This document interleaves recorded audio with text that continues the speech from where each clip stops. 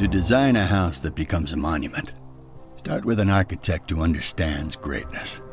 Carl was totally involved in the team because as a team owner, his business was motor racing, period. To build this house, surround yourself with the finest craftsmen. The one thing that we both agreed on is arming ourselves with the right people to do the job. Newman Haas was always the dominant team. They brought over Mario Andretti, who spent his IndyCar career at Newman Haas, and then Michael Andretti and Nigel Mansell, and then the later years with da Matta and Bourdais. He would leave nothing on the table if it was available, no matter what. Remarkable day under beautiful blue skies, and definitely blue skies for Nigel Mansell. He could reach for the top as well when it comes to drivers and it's only championship caliber that works. To give this house integrity, demand excellence from all who enter it. I always felt like I have a chance of winning every time that I was on the racetrack with a Newman Haas car. Mario Andretti is at this moment the national champion. Everything is focused on the driver, but it's the team. It's, I always say team with a capital T.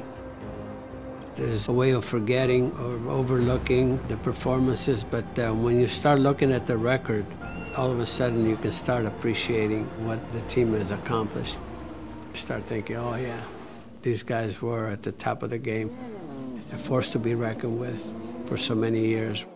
And understand that no house is ever complete, that success is a process, not a destination. You look back how fortunate am I to be surrounded with people that have given me equipment that's so capable? Because you can't do it without it. You can't, you know, I don't care how good you think you are.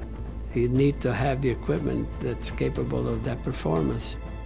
Indy cars are undervalued as far as collectibles. You have the biggest names in the world that have raced in IndyCar, Mario Andretti, Nigel Mansell. The cars are very sexy and very powerful. There's a lot of exciting cars in there. Each one has a valid history to be proud of, to be able to brag about.